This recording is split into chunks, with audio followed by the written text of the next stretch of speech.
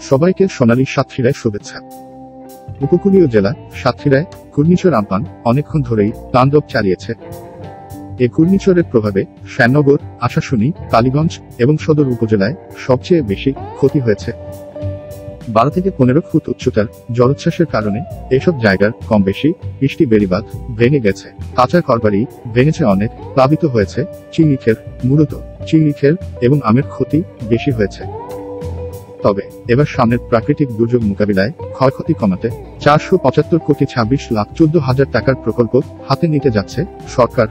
এ প্রকল্পের মাধ্যমে সাতক্ষীরা জেলার পোল্ডার এক, দুই, ছয় থেকে আটের এক্সটেনশন ও নিষ্কাশন ব্যবস্থার উন্নয়ন প্রকল্প হাতে নিয়েছে পানি সম্পদ মন্ত্রণালয়। প্রকল্পের মোট এলাকা এক লাখ তিপ্পান্ন হাজার হেক্টর। প্রকল্পটি বাস্তবায়িত হলে বছরে অতিরিক্ত চার লাখ সাতাশ হাজার মেট্রিক টন ধান ও পঞ্চাশ হাজার নয়শো পঞ্চাশ মেট্রিক টন পণ্য ফসল হবে। প্রকল্পের আওতায় একষট্টি কিলোমিটার নদী পুনর্খনন করা হবে।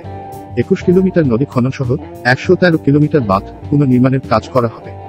এক হাজার সাতশো মিটার বাঁধের ঢাল প্রতিরক্ষা করা হবে। সাতাশটি নিষ্কাশন রেগুলেটর মেরামত ও পুনর্গঠন করা হবে। আমাদের নিয়মিত নতুন প্রোগ্রাম দেখতে সাবস্ক্রাইব করুন এবং বেল আইকন ক্লিক করুন। ধন্যবাদ, আবার দেখা হবে সোনালী সাতক্ষীরায়